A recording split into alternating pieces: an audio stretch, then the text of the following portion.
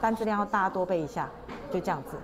，OK 吗？考前仔细叮咛，就怕儿子太紧张，无法发挥实力。希望未来有一个出路，有一个工作，稳定的工作这样子。护理有时候又遇到一些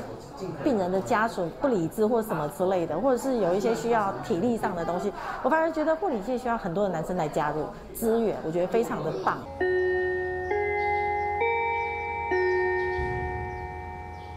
手机跟你们的手表全部都要关机哦。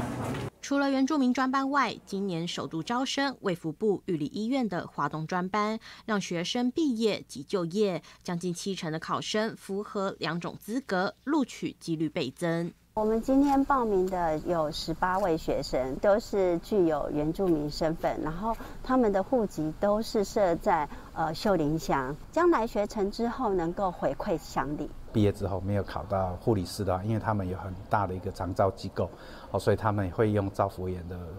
呃身份去聘任他们。花东的护理能力很欠缺，那我们玉里医院的话，将来就是需要做一个就是长照转型，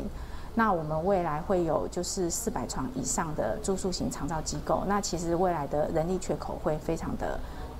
不止补足人力短缺，考进专班就有公费生资格，能减轻家庭负担。像是制服、学杂费，统统有补助，达到学业和操性成绩门槛，每个月再领五千元零用金，照顾华东学子，也培育未来的护理人员，提高照护品质。大爱新闻黄文琪、牛淑平、邓明仪花莲报道。